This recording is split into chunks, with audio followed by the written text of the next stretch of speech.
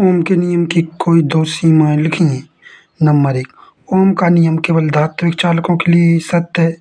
ओम के नियम के परिचलन के लिए चालक की भौतिक अवस्था जैसे लंबाई लंबाई, ताप आदि परिवर्तित रहने चाहिए।